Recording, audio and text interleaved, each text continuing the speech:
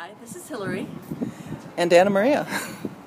and we're reporting under the marquee on our first impressions of The Secret Life of Pets.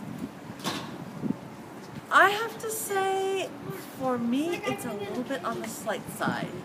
Um, it's going to be interesting to see what you thought of it. I love the pets' relationship with their owners, but for me, actually, that was, I think, the best part of the movie, and I think it needed to be a little more. Let's see what you think. Um, I have some reservations about it too. Parts of it I really, really enjoyed, but um, not quite up to Zootopia or some of those other fantastic animated films. But let's go back to my place and we can talk it over.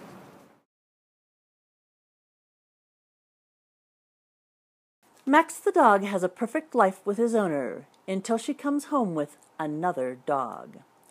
Duke is a big lummox who takes over Max's bed and food bowl until Max blackmails him into being a good dog.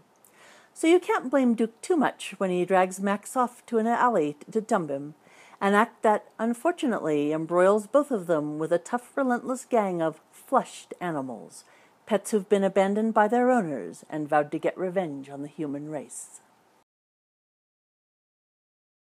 So, what did you like about the movie? Okay. I loved the pet characters and their relationships with their people. In fact, for me, I think that was my favorite mm-hmm. part of the movie. Um, and I gotta say, that bunny rabbit villain was brilliant, crazy. Mel Gibson could not have done it better. Um, what did you like? Um, well, um, I guess the, the pets and the relationship with their owners and how often the pets looked like their owners was quite fun. Uh, Bunny Rabbit was a great character. Mm. I liked the the general you know look of the story. The artwork mm-hmm. was was pretty good. Uh, I'm kind of groping for things uh-huh. because unfortunately it didn't hit a lot of buttons for me. Okay. Okay, so what didn't you like? Okay, um, the the story was a little too slight for an adult audience. It's definitely a little kids movie, which is fine. You know, it plays on that level fine. Um, but uh, the thing that really bothered me the most was that they stole the climax from Max.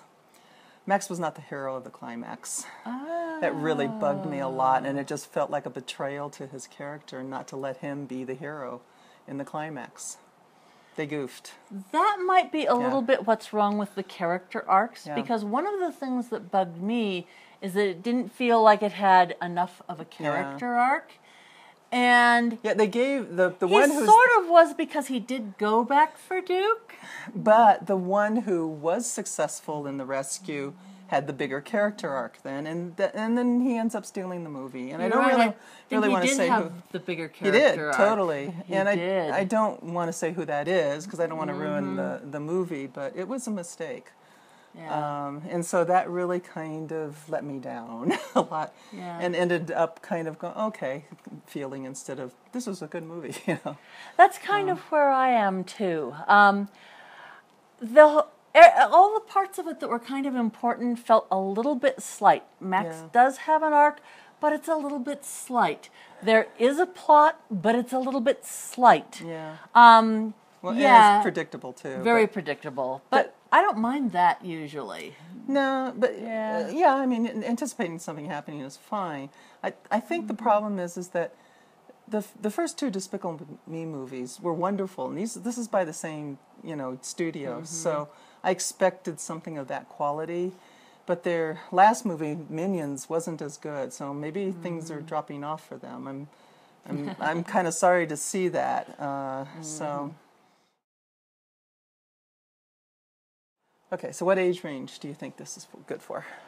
I think you're right that it's a little kids movie. Mm-hmm.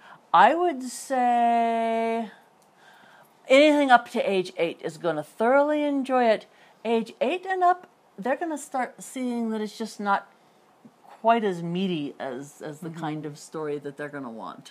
Well, they might like the villains. They think they would probably they'd like the villains. But yeah, it'll be a little slight. They'll enjoy it. It's yeah. enjoyable, but there's not much more there. Yeah, I, I agree. It's a little kids movie. Um, there are mm-hmm. snakes in it, so if your kids are afraid of snakes, then um, be aware of that. I mean, one, one snake bites bites the dust too. So, so uh, I'll just put that caveat out there. But uh, it is otherwise it Yeah. is very much a little kids movie. Yep. So, how many tickets are you giving it? I, I'm going to be a little generous and give it three tickets. Um, I think it's a good movie, and I think little kids will really enjoy it.